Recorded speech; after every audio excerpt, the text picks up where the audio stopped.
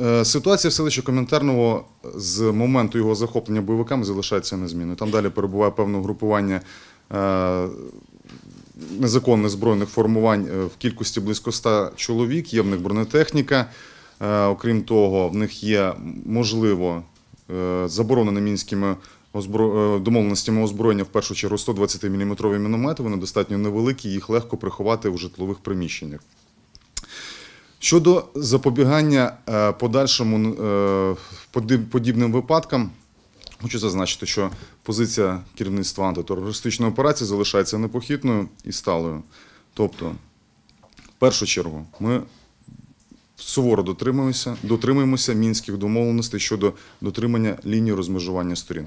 Ми абсолютно адекватно розуміємо, що будь-який населений пункт, який зараз розташований на тимчасово окупованих територіях Донбасу, він належить Україні. І ми сподіваємося, що в найближчому майбутньому так це і станеться, і вони всі повернуться під владу нашої держави. Але тим не менш, для того, щоб не проливати кров, для того, щоб зменшилась кількість обстрілів, для того, щоб не гинули військовослужбовці і мирні люди, ми змушені дотримуватися будь-яких домовленостей про е, деескалацію конфлікту мирним шляхом.